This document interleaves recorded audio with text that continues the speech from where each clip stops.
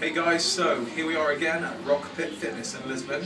I'm here with Jill McConkey, UK BFF competitor, and this time we have Lloyd McDonald, who is also another big fitness model in Belfast.